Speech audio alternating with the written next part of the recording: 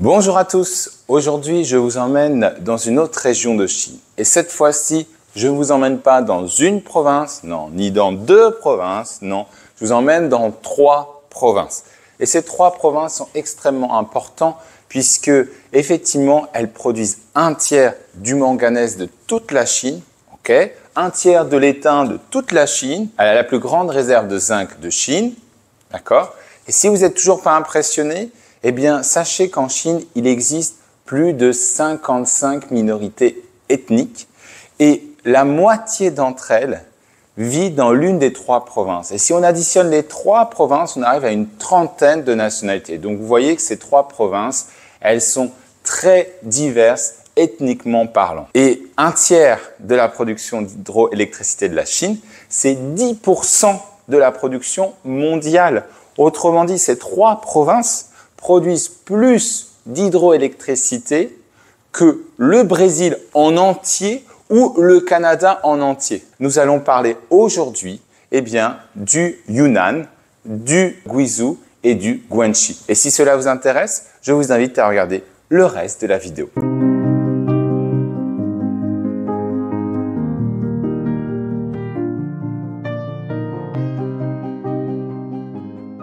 Alors la région qui nous intéresse aujourd'hui, eh bien en fait, elle couvre trois provinces que l'on peut euh, recouper sous le nom de Sinan. Si veut dire ouest, Nan veut dire sud, le sud-ouest de la Chine. Alors ces trois provinces, d'abord vous avez le Yunnan. Le Yunnan a une superficie de près de 400 000 km, ce qui fait qu'il est plus grand que le Japon. Le Yunnan, ça, Yun, ça veut dire nuage et Nan, le sud. Ensuite, vous avez le Guanxi. Guen, c'est l'espace et Xi, c'est l'ouest. Eh bien, c'est l'espace ouest en euh, comparaison avec le Guangdong, qui est l'espace de l'Est. Et le Guangxi, eh bien, il a une superficie de 237 000 km. Ça veut dire à peu près la superficie du Royaume-Uni. Et enfin, vous avez le Guizhou, plus petit, de 176 000 km, qui fait la taille à peu près du Cambodge. Eh bien, ces trois provinces, elles ont pour frontière au sud le Myanmar avec plus de 4000 km, le Laos et le Vietnam.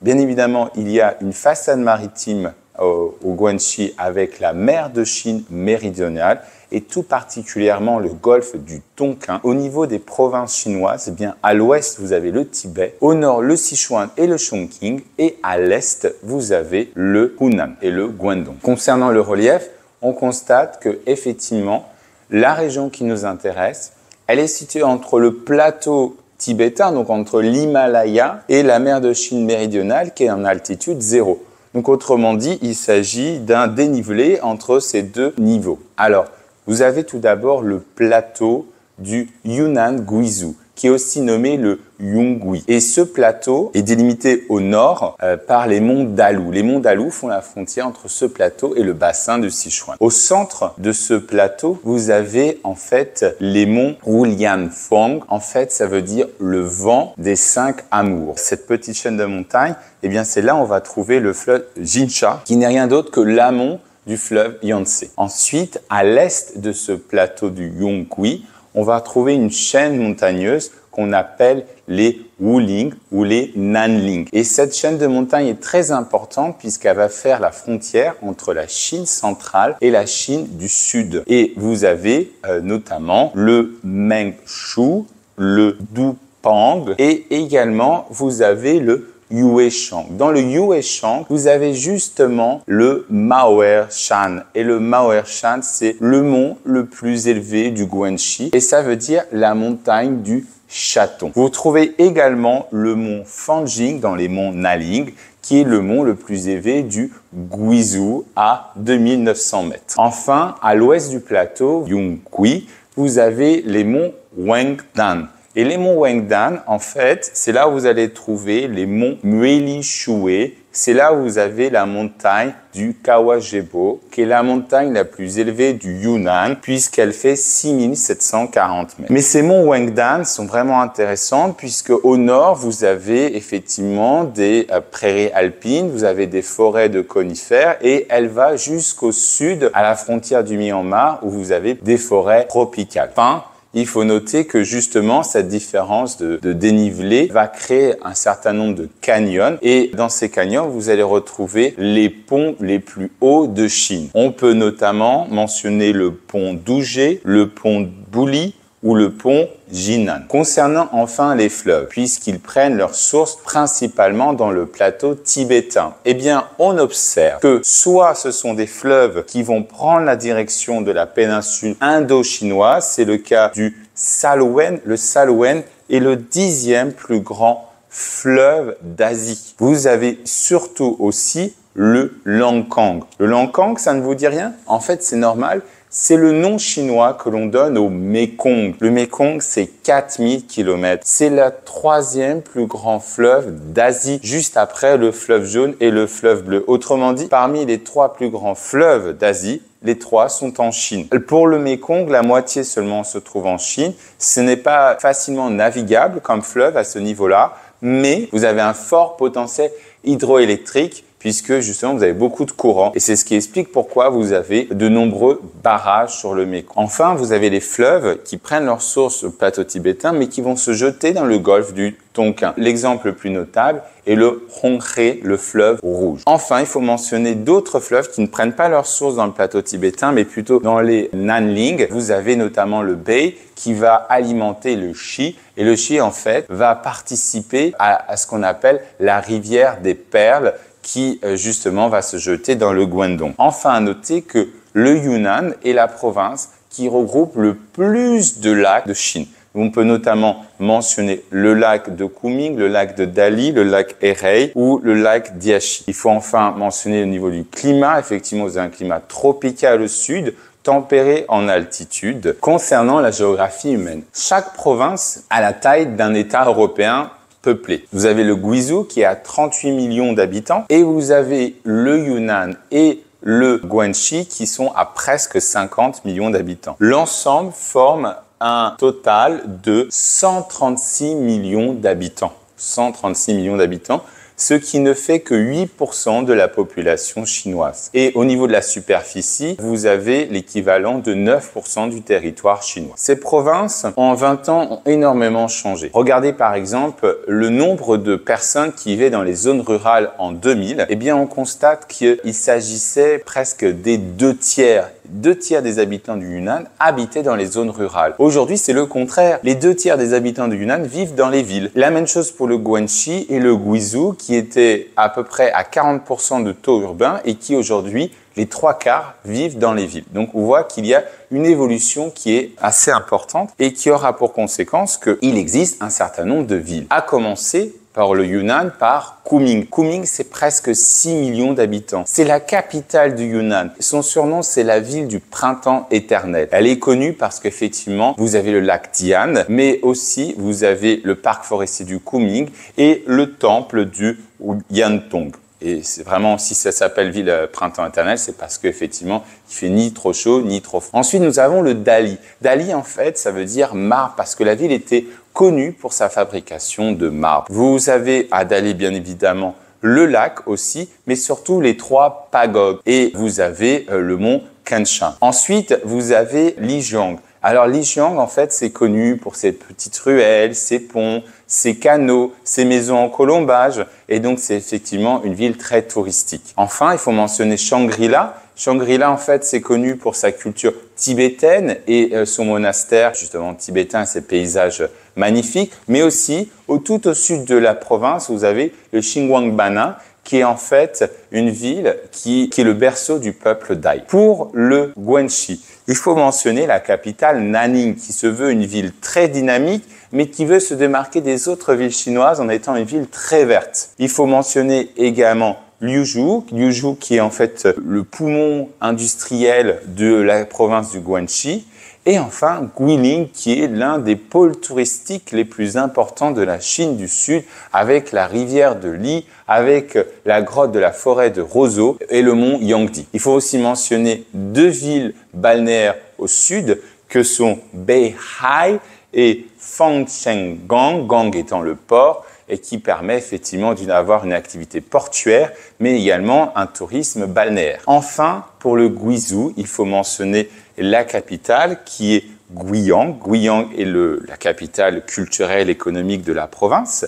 Vous avez ensuite Luompan Shui qui est plutôt le, poumon industriel de la province, mais vous avez aussi les chutes d'eau de Huang Guo Shu. Shuo l'arbre, Guo le fruit, Huang le, le jaune. Donc l'arbre du fruit jaune. Vous avez également Zuni qui est très important pour l'histoire communiste et Han Yui qui est euh, très important parce que vous avez aussi des cascades et là vous avez la cascade de Longgang.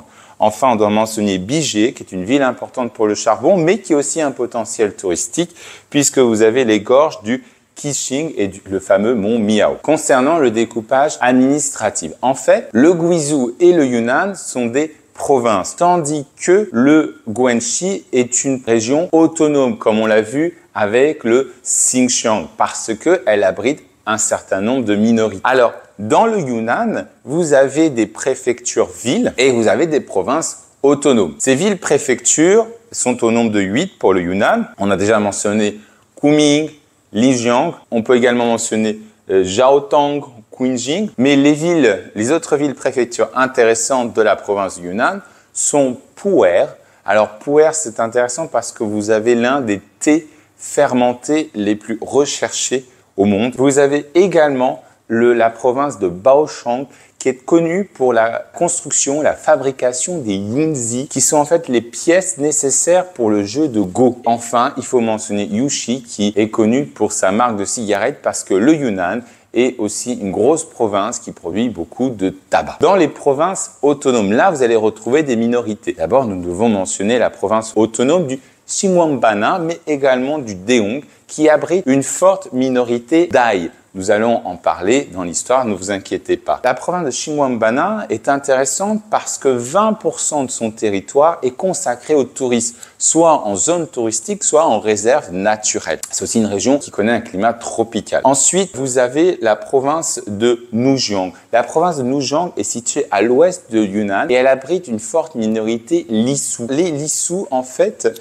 c'est l'un des, des seules minorités ethniques chrétiennes. En fait, ils ont été évangélisés dans les années 30 par des missionnaires, notamment américains. Et aujourd'hui, eh bien, ils constituent une minorité à cheval sur différents pays, aussi bien au Yunnan en Chine, mais aussi en Thaïlande, au Myanmar, mais également en Inde. Vous avez la province de Diking au nord-ouest, où là, vous allez retrouver la culture tibétaine. On retrouve également le mont Kawajebo. Vous avez la province autonome du Xunxiang et du Honghe. Et là, vous avez la minorité Yi qui est importante numériquement. Enfin, la province du Weishan qui est tout à l'est. Et là, vous allez retrouver les minorités Shuang. Il faut aussi mentionner que Dali est aussi une province autonome et elle regroupe l'ethnie Bei. Ensuite, dans le Guizhou, c'est plus simple. Vous avez trois villes-préfectures. Donc, les villes-préfectures vont abriter un plus grand nombre d'ethnies chinoises qu'on appelle l'ethnie Han. Et les trois qui regroupent des minorités sont plutôt au sud, près du Guanxi, et c'est souvent des minorités Miao, Bouillet, qui sont proches des Zhuang ou les Dong aussi. Enfin, il faut mentionner le Guanxi. Donc le Guanxi, comme je l'ai dit, c'est une région autonome. Elle va regrouper un certain nombre de minorités, notamment la plus grande minorité de toutes les minorités chinoises, que sont les Zhuang. Et en fait, ils habitent l'ouest de la Chine. Alors, ils ne sont pas majoritaires dans la région autonome. 62% des habitants du Guangxi sont en fait des Han. Et donc, les Zhuang vont plutôt occuper les provinces de l'ouest, à noter notamment le Beis, le Chongzhou ou le Leibin. En dehors des villes que nous avons déjà mentionnées dans le Guangxi, nous pouvons également parler du Wuzhou qui regroupe 85% de l'eau, le Qinzhou qui est très connu pour l'élevage de tortues, ou enfin le Henshi. Et là, le Henshi a la particularité où il n'y a pas de Han. 89% des habitants de cette province sont en fait issus des minorités ethniques, notamment des Zhuang. Si comme moi vous voulez visiter le Yunnan, eh bien je vous propose le temple des Chongshang, le village Miao des mille foyers de Xing la vieille ville de Shenzhuan, le fleuve rouge, le Honghe, le village de Baobao, le paysage volcanique de Tenchong, les paysages du mont Fanjing, la montagne enneigée du dragon de Jade, je trouve ça très beau, le lac Lugu. Les chutes on a parlé de Huangguoshu, ou euh, aussi parlé Banjiao Duc tient du côté vietnamien. Les rizières de Longji, de Yuongyang ou de Longsheng, la rivière Yulong et la forêt de pierre de Shilin, le parc national du Potatso, le parc national forestier de Yuché, la grotte de la flûte rouge et la vallée du Jiaobang. Vous voyez, vous avez beaucoup de choses à voir, à visiter dans ces provinces. On parle depuis le début des minorités. Alors effectivement, la langue officielle de la Chine du Sud-Ouest, eh bien effectivement, c'est le mandarin. Et ici, nous avons une variété dialectale du mandarin, le mandarin du Sud-Ouest. Mais cela, nous parlerons plus en détail dans la vidéo sur le Sichuan. Alors, le mandarin est en fait issu de la famille sino-tibétaine. Dans la famille sino-tibétaine, 94% des locuteurs parlent une langue chinoise. Par langue chinoise, je ne mentionne pas seulement le mandarin. Il existe d'autres langues chinoises, comme le Hakka ou le cantonais. Et les 6 autres pourcents, en fait, vont être, faire partie du groupe tibétain-birman. Alors, le groupe birmo-tibétain, il regroupe un certain nombre de sous-groupes. D'abord, vous avez le sous-groupe tibétain, avec le tibétain en premier. En effet, vous avez d'autres comme le Lisu, le Lao, le Nakshi, le Nouï ou le Bai. Ensuite, dans le sous-groupe birman, vous avez bien évidemment la langue la plus parlée, le birman, qui est la langue officielle du Myanmar. La deuxième langue la plus parlée va être le yi, effectivement, que l'on retrouve dans le Yunnan. Et donc le Yi est la septième minorité de Chine avec plus de 6,5 millions de locuteurs. On retrouve également d'autres langues du sous-groupe birman comme le Hani, le Jingpo, l'Achang ou le Maonang. Et il existe un troisième sous-groupe avec pas beaucoup de locuteurs qu'on appelle le sous-groupe des euh, Xiangqing avec le Pani, vraiment peu. Et puis il existe aussi un isolat linguistique qu'on appelle le Tujia. Donc ça c'est la première famille. Ensuite la deuxième famille, il faut mentionner les Tai Kadai. Effectivement par Tai Kadai, vous entendez la langue Thai, qui est la plus parlée de cette famille. Mais la deuxième langue la plus parlée, ça va être le Shuang, la langue qui est parlée dans le Guanxi, qui est plus parlée que le Lao laotien parce qu'elle regroupe entre 12 et 15 millions de locuteurs.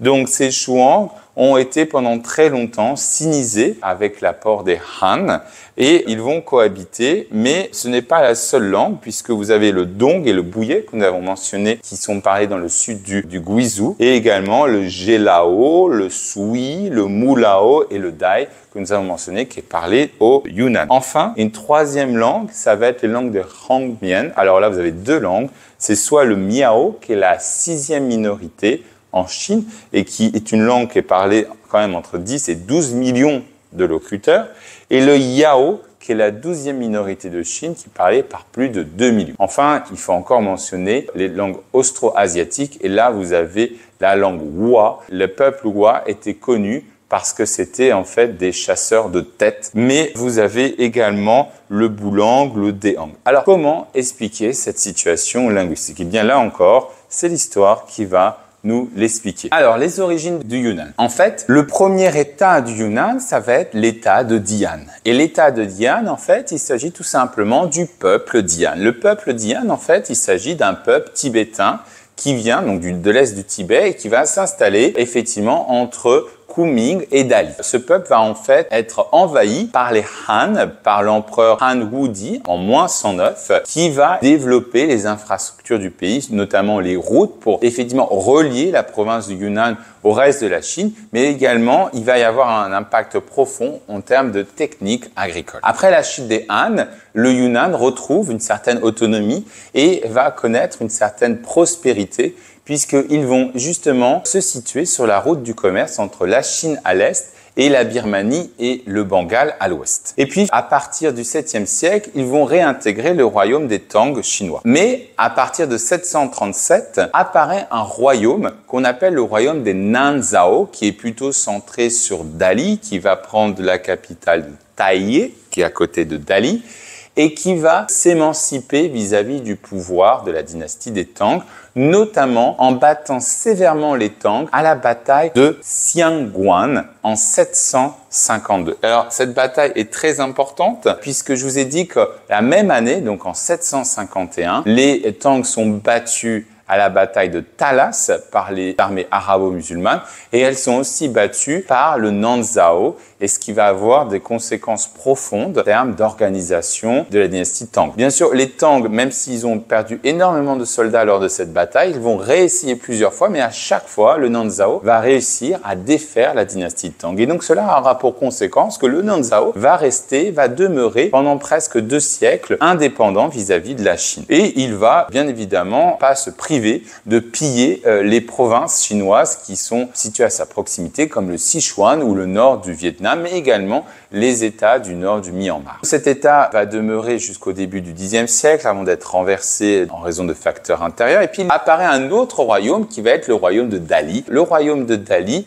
va entretenir des relations complètement différentes avec le nouveau pouvoir chinois qui ne sont plus les Tang mais les Song que entretenait par exemple le Nanzhao avec les Tang. Et les Song aussi vont entretenir des relations différentes avec le royaume de Dali, puisque mutuellement, les Song comprennent qu'ils ne peuvent pas déloger ce peuple montagnard, que s'ils attaquaient comme les Tang, ils, auraient, ils seraient défaits sévèrement. Les royaumes de Dali comprennent qu'effectivement, ils ne sont pas en rapport de force pour soumettre les Song. Donc le royaume de Dali va spontanément offrir un tribut aux Song qui, eux, parfois vont le refuser. Mais effectivement, vous avez des relations diplomatiques, voire commerciales. Euh, ce qui intéresse les Song, ça va être les chevaux de Dali. Enfin, après les Song, vous avez les Mongols, la dynastie des Yuan. Et eh bien là, la dynastie locale du royaume de Dali va se soumettre spontanément aux Mongols. Donc les Mongols ne vont pas écarter la dynastie locale. Par contre, ils vont mettre des administrateurs musulmans qui vont être à l'origine de la communauté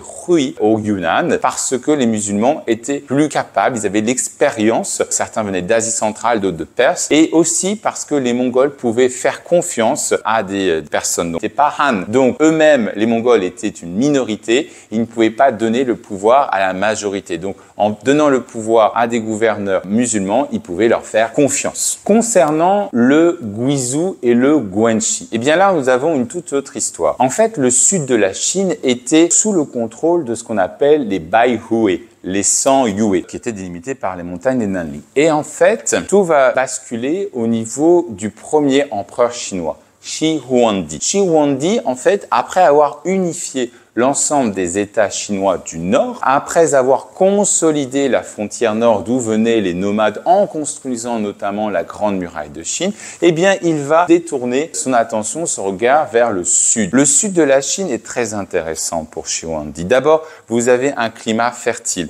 Deuxièmement, vous avez beaucoup de champs. Et en fait, on va voir sous la dynastie Song que la majorité de la production économique eh bien, est dans le, dans le sud. Les Song ne se sont pas effondrés parce que vous avez économiquement plus de force dans le sud que dans le nord. Donc le sud est un grenier à blé ou un grenier à riz. Ensuite, il est facilement défendable puisque une fois que vous avez conquis le sud, vous avez la mer. Il n'y a pas de, de force, pas de thalassocratie qui va menacer. D'ailleurs, les seules forces navales qui vont menacer, elles vont venir de et elles vont venir 1500 ans plus tard. Donc, euh, pour toutes ces raisons, le sud est facilement défendable. Or, au nord, eh bien, donc, Xiandi va décider d'envahir et d'annexer le sud de la Chine au nord. Et effectivement, il va être à l'origine des euh, migrations des peuples, des peuples Taikadai ou des peuples du sud. En arrivant au sud, il va effectivement commencer à siniser notamment les Jouans. Pour ce faire, il va justement construire le canal du Lingkou, qui est l'une des trois prouesses architecturales de la Chine ancienne avec le, la Grande Muraille de Chine ou le système d'irrigation du Dujiangyan au Sichuan. Après la chute de ce règne éphémère, le sud reprend effectivement une autonomie. Vous avez le Nanyue ou euh, vous avez le Yelang au Guizhou jusqu'à ce que la dynastie Han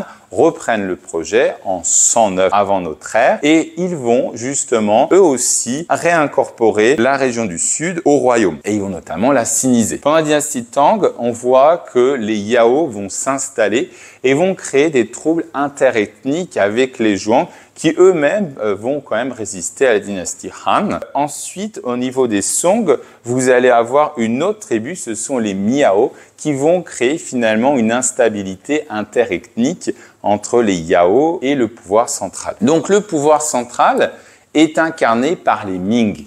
Les Ming vont en fait euh, centraliser de différentes manières. D'abord, ils vont installer des garnisons militaires pour mettre fin au désordre interethnique entre les Yao, les Miao. Ensuite, ils vont par exemple décider que le Guizhou sera une province en 1413, alors que le Yunnan est devenu une province sous les Mongols Yue. Enfin, ils vont continuer, encourager l'installation de peuples Han dans la province et notamment au Yunnan où vous avez 3 millions de Han qui s'installent. Enfin, ils vont se reposer sur des chefs héréditaires qu'on appelle les Tutsis. Mais en fait, ces Tutsis vont se comporter comme des gouverneurs chinois. Et donc tout cela va avoir un, ressenti puisque les minorités n'acceptent pas le, le contrôle du euh, pouvoir euh, central. Et notamment, vous allez avoir la révolte de la bataille des gorges de Ratan de 1465, au cours de laquelle les Yao vont être défaits. Mais de manière générale, on voit qu'il existe un certain nombre de révoltes paysannes. Alors ces révoltes paysannes, elles ne sont pas propres à la Chine, mais effectivement, on constate qu'elles arrivent lorsqu'il y a une crise alimentaire importante ou lorsque le pouvoir central rencontre des difficultés financières ou budgétaires, qui sont généralement liées lors de catastrophes naturelles, comme par exemple un tremblement de terre dans le Sichuan, dans le Yunnan, ou encore lorsqu'il y a des inondations dans le fleuve du Yangtze. Eh bien, les Chinois, eux, ils considèrent que lorsque ces catastrophes arrivent, eh bien, c'est parce que la dynastie en pouvoir a perdu le mandat céleste. C'est quelque chose de très important, ce mandat céleste. Et il faut noter également qu'au cours du XVIIIe siècle, vous allez avoir encore plus de, révoltes parce que la population chinoise atteint plus de 400 millions d'habitants. Donc, vous avez une paupérisation qui est liée au fait qu'un nombre de terres est de moins en moins disponible pour nourrir une population de plus en plus importante. C'est ainsi que dans la province de Guangxi, qui nous intéresse aujourd'hui, va naître la révolte des Taiping. Alors la révolte des Taiping, eh bien, c'est l'histoire d'un Chinois du Sud qui a raté quatre fois les examens pour être lettré et qui une vision dans laquelle il voyait qu'il était le frère de Jésus-Christ. Oui, je rigole pas, mais c'est la vérité. Et donc, du coup, il va se révolter, ça va prendre de l'ampleur, et il va installer, en fait, une théocratie utopique où euh, il va interdire effectivement la, polygamie, euh, les jeux, l'alcool, l'opium, mais également il va instaurer une réforme agraire. Vous avez un peu des prémices de ce qu'on va avoir euh, avec le communisme plus tard, mais ils vont pas réussir à prendre Pékin et ils vont pas avoir l'ascendant militaire. Et donc du coup, la dynastie Qing qui est au pouvoir va justement faire appel aux puissances étrangères pour mater définitivement cette puissance. Et bien justement, lorsqu'on parle de puissance étrangère, on mentionne au sud notamment la France et la Grande-Bretagne. Alors la France est installée en Indochine, mais elle considère le sud de la Chine comme sa zone d'influence naturelle, notamment le Yunnan. Alors effectivement, le débouché naturel du Yunnan, c'est avec le fleuve Rouge, c'est le nord du Vietnam. Et donc du coup, ils vont construire une voie de chemin de fer entre Hanoï et Kunming pour justement acheminer les matières premières du Yunnan. Et euh, ils vont également installer un port dans le Guangdong. Concernant les Britanniques, eux, ils vont redessiner la frontière entre la Chine et le Myanmar à leur intérêt. Pourquoi? Parce qu'effectivement, même si le pouvoir Qing a réussi pendant deux siècles à maintenir une stabilité en Chine, il n'a pas réussi à rattraper le retard technologique par rapport aux puissances occidentales. Et il donc est obligé de signer un certain nombre de traités inégaux qui se fait toujours en sa défaveur économiquement mais aussi territorialement. On arrive au XXe siècle. Au XXe siècle, eh le pouvoir Qing va continuer jusqu'à la révolution de 1911, au cours de laquelle le pouvoir central va s'effondrer et vous allez avoir un certain nombre de seigneurs de guerre au Yunnan, au Guizhou, un peu plus tard au Guangxi, puisque eux, ils sont proches du Guangdong, là où vous avez le Kuomintang, mais en 1927, il y a aussi des seigneurs de guerre. Et finalement, dans les années 30, la guerre sino-japonaise va prendre le pas, à l'exception des ports du Guangxi qui sont occupés par euh, les forces nippones, eh bien, le reste du territoire va justement profiter de la délocalisation du gouvernement central vers des régions moins exposées aux Japonais. Et du coup, pour le Yunnan, ça va être très profitable puisqu'on va avoir l'installation d'universités, euh, d'usines ou euh, d'agences intergouvernementales jusqu'à 1949. Et en 1949, eh bien, vous avez la Chine communiste qui est installée. Concernant l'administration, il faut bien sûr mentionner le fait qu'il existe différents échelons administratifs. Il faut d'abord mentionner qu'il y a des provinces. Au sud des provinces, vous allez avoir effectivement des villes-préfectures et des provinces autonomes. Les villes-préfectures vont être souvent peuplées de Han. Et les préfectures avec des minorités, qu'on appelle les Sijiju, vont avoir des minorités. Ensuite, en dessus des villes-préfectures, vous allez avoir soit des municipalités, soit vous allez avoir des comtés, soit des comtés autonomes avec des minorités. Et enfin, vous allez avoir des villes ou des villages. Et dans chaque échelon, vous avez en fait le Parti communiste chinois qui est représenté. Lors des 20 dernières années, ce qu'on peut mentionner dans les trois provinces, c'est notamment le fait qu'il y a un immense tremblement de terre au Yunnan qui a fait beaucoup de morts, mais également on peut voir une volonté du euh, pouvoir central de développer ces régions qui sont, en termes de l'échelle de l'indice humain, le Yunnan et le Guizhou occupent les trois dernières places. Donc effectivement, ce sont des régions peu développées et justement, elle va, ce développement va passer entre autres par la construction de chemins de fer.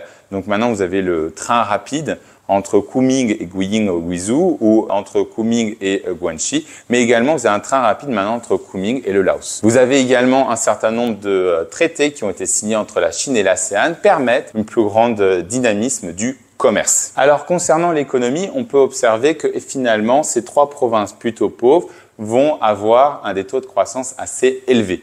Effectivement, à l'exception de la crise de 2008 et de, du Covid, on peut observer que la croissance s'échelonne entre 10% et 16%, puis entre 8% et 13%. Et effectivement, on peut voir que le PIB du Yunnan, du Guizhou et du Guangxi ont été décuplés, puisqu'ils sont passés de 15 milliards de dollars pour le Yunnan et Guizhou et ils sont aujourd'hui à plus de 300 milliards de dollars. Pour le Guangxi, il est passé un peu plus haut de 30 milliards à presque 400 milliards. De même pour le PNB par habitant, il est passé de 500 dollars à 7000 dollars. Trois régions sont en fait aussi trois grandes régions agricoles. Au sud du Yunnan, avec euh, le climat tropical, eh bien, vous avez la possibilité d'avoir des fruits exotiques. Mais ce n'est pas la seule chose. Vous avez également la possibilité d'avoir thé du sucre et on l'a déjà mentionné, le tabac. On a une grande production de tabac au Yunnan et au Guizhou. Mais vous avez également un certain nombre de minerais. Un tiers de la production d'étain et un tiers de la production de manganèse de Chine viennent uniquement de cette région. Vous avez la première réserve de zinc de Chine.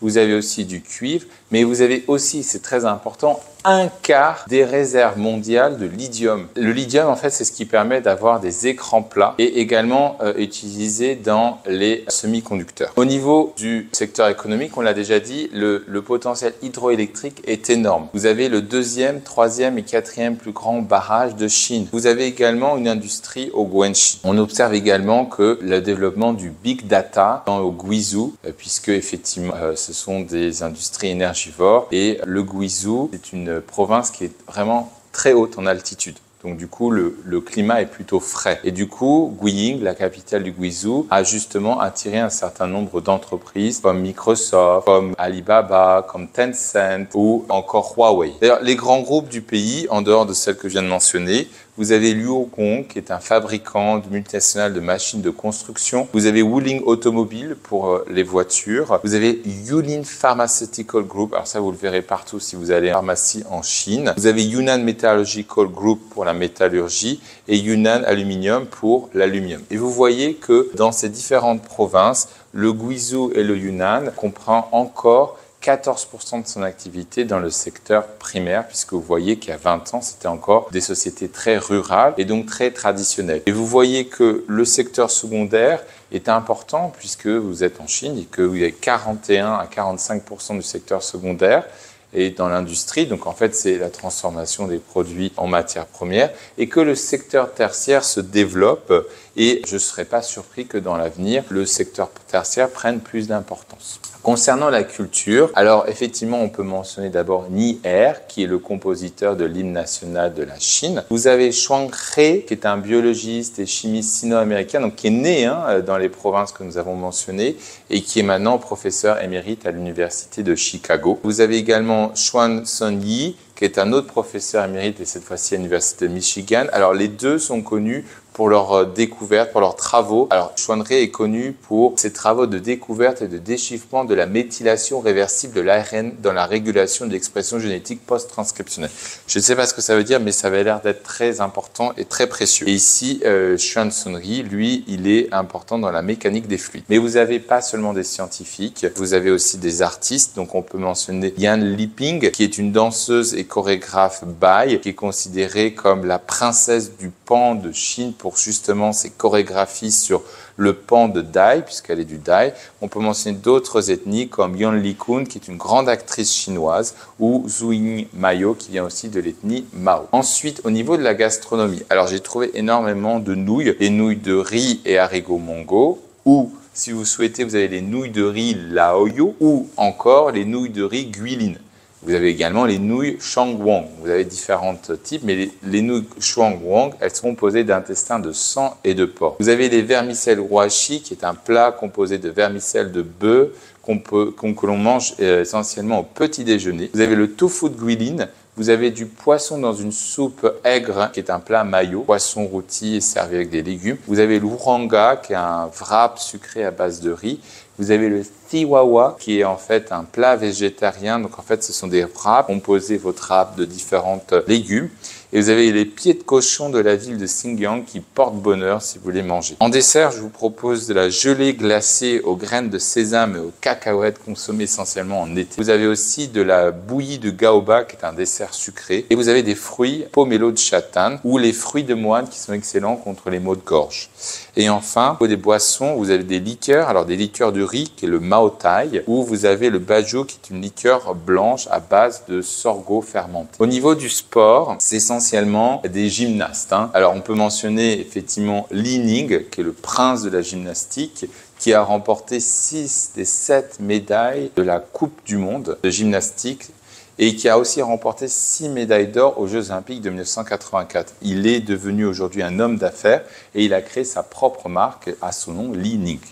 Ensuite, vous avez Zhuang Yunan, qui elle aussi est une gymnaste qui a remporté la médaille aux Jeux Olympiques de Pékin de 2008. Vous avez Deng Shudi, qui est une gymnaste artistique chinoise qui a concouru pour l'équipe nationale chinoise qui a remporté les championnats du monde de 2014 et 2015. Et enfin, Luo Ling, encore un gymnaste chinois de la région qui a obtenu la médaille d'or et qui a obtenu la note de 9,9. Pour finir, quels sont les défis de ces trois provinces? Alors effectivement, d'abord, vous avez un défi qui est géopolitique. Le Yunnan est effectivement frontalier du Myanmar, du Laos et du Vietnam.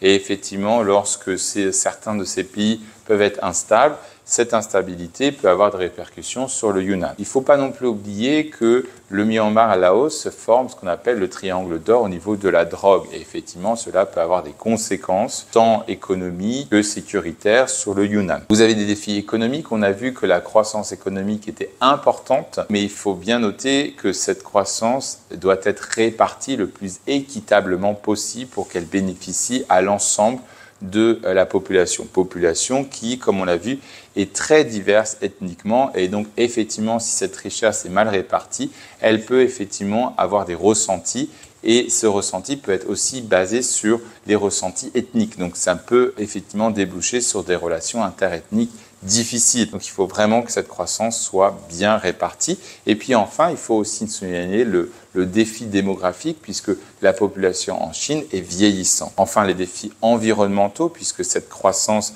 a engendré effectivement des conséquences. Lorsqu'on construit des barrages, eh bien, il y a des conséquences environnementaux, mais également concernant la pollution de l'air ou du sol qu'il faut compenser ou notamment la déforestation puisque ce sont des, des zones qui étaient très boisées. Voilà, comme d'habitude, si vous avez aimé, eh bien, n'hésitez pas à liker, à partager et à vous abonner si ce, n'est pas déjà fait. Merci à tous, au revoir et à très bientôt.